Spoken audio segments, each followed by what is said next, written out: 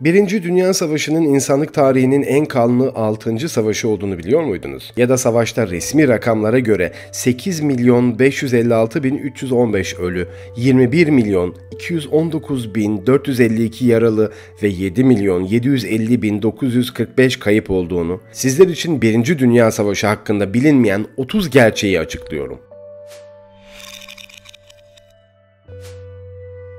Birinci Dünya Savaşı sırasında 30'dan fazla zehirli ve kimyasal gaz kullanıldı. Savaşın sonundaysa birçok ülke zehirli gazların yasaklanması için anlaşma imzaladı. Birinci Dünya Savaşı insanlık tarihinin en kanlı 6. savaşıdır. Savaş binlerce insanın bedeninde ve özellikle yüzünde kalıcı izler bıraktı. Estetik ameliyatlar kullanılmış olsa da düzeltilmeyecek yaralanmalar için yüz maskeleri kullanıldı. Bazı askerler ömürlerinin sonuna kadar hastanelerde ya da bakım evlerinde kaldılar. Birinci Dünya Savaşı'ndaki zayiat sayısı 35 milyonun üzerinde üzerindedir. 15 milyon sivil ve asker hayatını kaybetti, 20 milyondan fazla insansa yaralandı. İngiltere Bakanlığı 1.60 boyundan kısa olanları askere kabul etmiyordu. Ancak bu kural kısa boylu İngilizlerin askere gitmesini engelleyemedi. Bakanlık bu insanlar için cüce taburları kurdu. Bu taburlar normal taburların yanında yardımcı birlik olarak savaşa katıldı. Birinci Dünya Savaşı Afrika kökenli Amerikalıların da eşit haklara kavuşmasına büyük katkıda bulundu. Örneğin Henry Ford savaşın ardından siyahileri de çalıştırmaya başladı.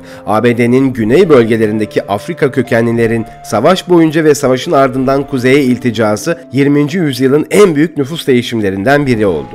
Birinci Dünya Savaşı'nın dünya ekonomisine zararı o günün parasıyla yaklaşık 185 milyar milyar dolardı. Savaş boyunca milyonlarca asker siper savaşlarının dehşetinden dolayı savaş bunalımına yakalandı. Bu hastalıktan mustarip olan askerler uyuyamıyor, konuşmasına hakim olamıyor, korku nöbetleri geçiriyor ve sürekli titriyorlardı. 1914-1918 yılları arasında vuku bulan Birinci Dünya Savaşı, dünyadaki neredeyse tüm okyanuslarda ve kıtalarda yürütüldü. Bununla birlikte en kanlı muharebeler Avrupa'da yaşandı. Birinci Dünya Savaşı'ndan sonra İngiliz İmparatorluğu'nun dünyadaki ekonomik liderliği sona erdi.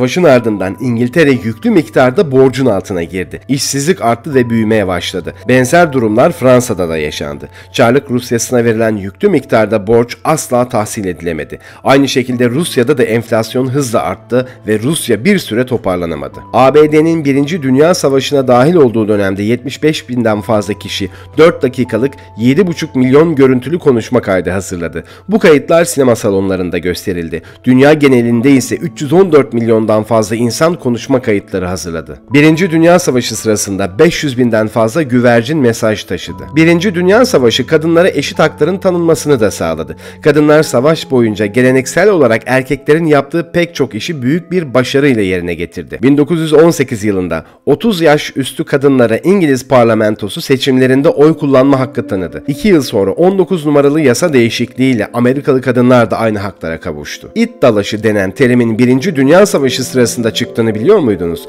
Pilotlar havadayken keskin manevralarla bazen motorları kapatıp tekrardan çalıştırıyorlardı. Motorun çalışması köpek avlamasına benzer bir ses çıkardığı için it dalaşı terimi buradan çıktı. Osmanlı Devleti'nin savaş sonunda fiilen yıkılması müttefiklerin Orta Doğu'da etkilerinin ziyadesiyle artmasına yol açtı.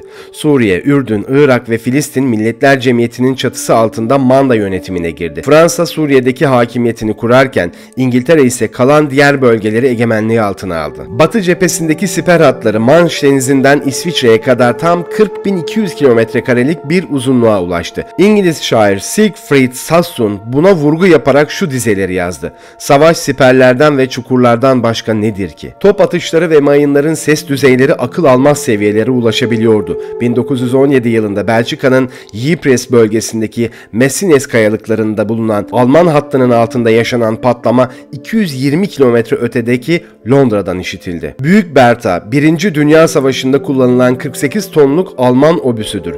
Tasarımcısı olan Gustav Krupp'un eşine istinaden böyle isimlendirildi. Büyük Bertha, 15 kilometre uzaklığa 930 kilogramlık top atışları gerçekleştirebiliyordu. Bununla birlikte topun hazırlanması için 200 kişilik bir ekip 6 saat çalışmak zorundaydı. Almanya'nın elinde bu toplar veya namı diğer mucizevi silahtan 13 adet vardı. 1. Dünya Savaşı sırasında Amerika'da Almanlara karşı büyük bir önyargı oluştu. Alman karşıtları Almancı kitapları yaktı, Alman çoban köpeklerini öldürdü. Hatta Alman kökenli Amerikalıların öldürüldüğü olaylar yaşandı. Birinci Dünya Savaşı ABD'nin dünyanın en büyük silahlı gücü olarak ortaya çıkmasına yol açtı. Hello Girls Avrupa'da görev yapan ve Pershing askerleri için telefon operatörlüğü görevi yürüten kadınlara verilen isimdi. Fransızca ve İngilizce'de oldukça yetkin olan bu kadınlar Amerikan telefonları ve telgraflar konusunda özel eğitimliydi. Bu ekibin hayatta olan üyelerine ancak 1979 yılında savaş madalyası verildi ve gazilerinin yaralandığı haklardan yararlanma hakkı tanındı. Harlem Cehennem Savaşçıları cephede savaşan az sayıdaki birliklerden biriydi.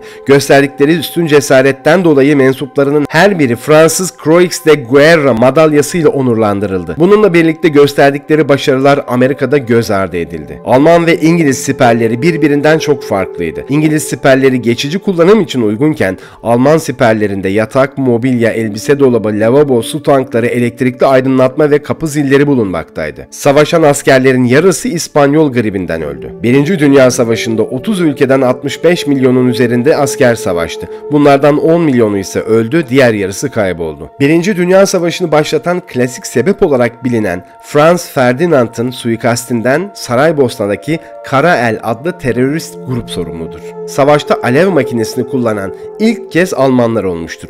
Kullanılan alev makinesi 40 metre uzaklıktaki hedefleri bile yakabilme kapasitesine sahipti. Savaş sırasında İngilizler tanklarını erkek ve kadın olarak iki gruba ayırdı. Erkek tankların topu vardı, kadın tankların ise sadece ağır makineli tüfekleri. Savaş sırasında köpekler iletişim aracı olarak kullanıldı. Köpekler siperleri atlayarak askerler arasında mesaj taşıyorlardı. Savaşın ardından edebiyat dünyasına çok kıymetli eserler kazandırıldı. Bunlar arasında Eliot'tan Çorak Ülke, Ernest Hemingway'den Silahlara Veda, Eric Maria Remarque'den Batı cephesinde yeni bir şey yok sayılabilir.